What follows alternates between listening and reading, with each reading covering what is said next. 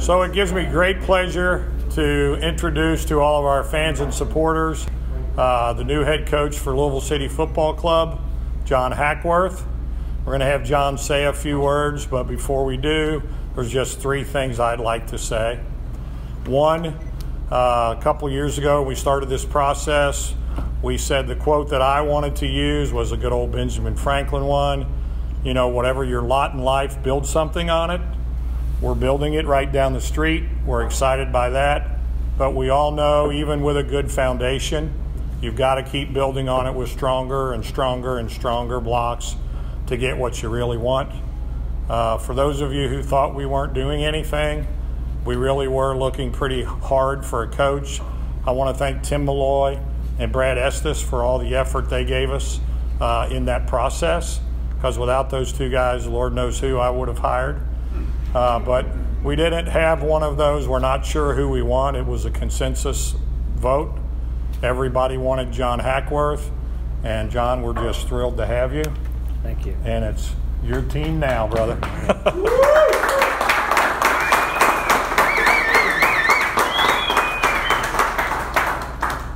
Good. Uh, look, thank you, John. Um, I am super excited to be here.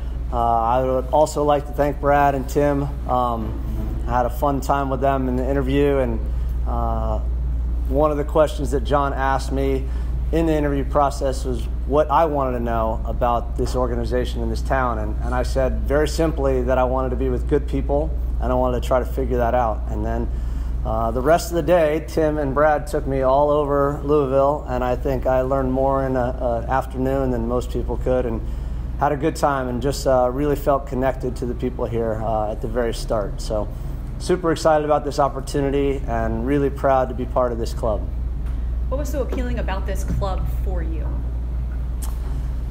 A couple major factors. Number one was that they had a tradition of winning already. Um, obviously, they had won this trophy the year before, and that's what I wanted to go into. I wanted to go into an ownership group that absolutely had aspirations to win more trophies and to fill that cabinet uh, with multiple trophies. So that was one. Uh, I'm not going to lie, the fact that the stadium was getting built and the ground was already, shovels were already in the ground, that was number two, because that means that there's so much to build on here. There's so much to grow, not only from a, a club standpoint, but from a community standpoint. And that is really unique. Hopefully, uh, the professional team here in Louisville, uh, being a soccer team is something that this town will embrace. Uh, I know we have a lot of competition, um, and it seems to be a great sports town so far because I've done so many interviews in 24 hours. It's amazing. That's part of Brad's making me do that. But uh, it seems uh, it seems fantastic. And then finally, the opportunity to come and grow something. And I was looking for a place where I felt like my family and I could come and settle down and put some roots. Um, as long as we win some trophies, I think the ownership group will let me stay. Uh, and that was really what I wanted to kind of look for. And um, this town, I've only been here for a day, but uh, already I feel welcomed. And I want to thank all the fans and the ownership group and supporters uh, and players. The players were fantastic in our first uh, training session this morning. So, uh, so far, so good. What you learn in Philadelphia? Oh, lots. Um, too much to fill one interview. But uh, what I did, I would say I took away from that is that uh, you got to stick to your guns. You got to do things that you uh, believe in what your principles are, and you know, not to go into a whole big story about that. But I think I did that there, and, and uh, I left that town and that city and that club in a better place than uh, when I first arrived, and I'm proud of that. What kind of style can we expect for you to want to implement with this group? Well, I think the style's here a little bit, and, and I like that. Uh, this team plays an aggressive style, they're a pressing team. Uh, I want us to be uh, an attacking team in all ways on both sides of the ball. When we have it, I want to go to goal. Uh, when we don't have the ability to goal, I want us to possess it. I want to make the other team chase. Uh, and at the same time, you know, soccer is a game of turnover. So when you lose it, I expect us to get it right back. And uh, if we can go to goal, we're going to go. So uh, I think you're going to see an aggressive pressing type style, um, but also one that is built on a, a foundation of uh, taking care of the ball and valuing the ball. you've worked with teams before that development has been a big thing with young players and guys wanting to get to the next level. So, how, how do you see that in the USL with this group wanting to help the players just develop while working as a, a unit? Yeah, look, I, I don't want to coach players that don't want to get better every single day. So that's the starting point. And, um, you know, I'm quite sure that all those guys in that locker room um, has aspirations. But the one great thing that I've already discovered here is that they put the value on the team versus the individual. Um, that was something James O'Connor did a great job laying that foundation. And I've said it before, you know, um, I have big shoes to fill because he was an excellent coach and did a great job here.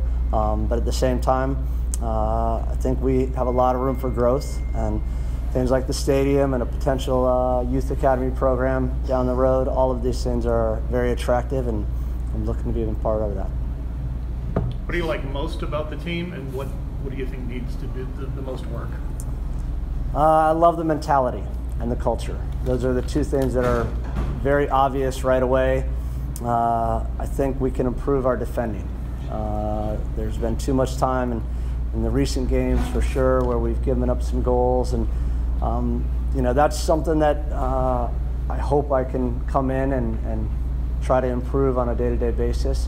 When you have such a good team that, that has that mentality to go forward, you do open up yourself uh, to some spaces in the back, and so we just need to uh, tighten that up a little bit. And if we do, I think we'll still continue to score goals and attack. So. This is a community that's embraced this team wildly over the first few years. How much are you looking forward to playing in front of that crowd and those fans on Saturday night?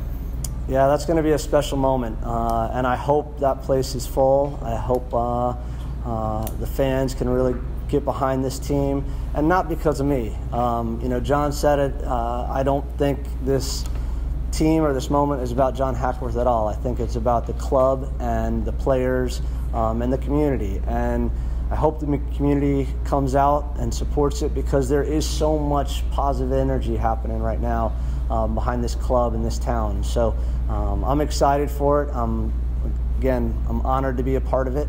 And uh, at the same time, uh, I will try to do my very best to lead it in all the right ways starting on Saturday. How many of these players were you somewhat familiar with before you got here, and how many are you learning about? Uh, well, since uh, the process to get hired here was, you know, a little long, um, I studied and I did a lot of homework, and so I got to know the team quite well from afar. Brian Ownby played for me uh, in the under 17 team in residency the first time I was in charge of that program, so I know him quite well. It was fun to see him again today, and I've watched his career uh, and been very proud of him. Uh, Shaun Francis was a guy who came on in a trial at, at Philadelphia for a little while.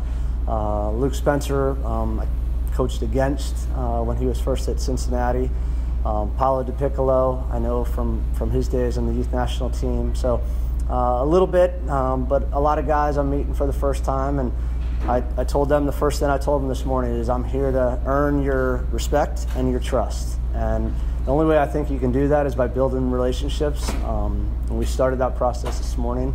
So again, it's, uh, it's just the beginning, but so far so good coming in at this stretch of games, how difficult is it to adjust to you know five games in the end of August, and also the difficulties of coming into the back half of the season?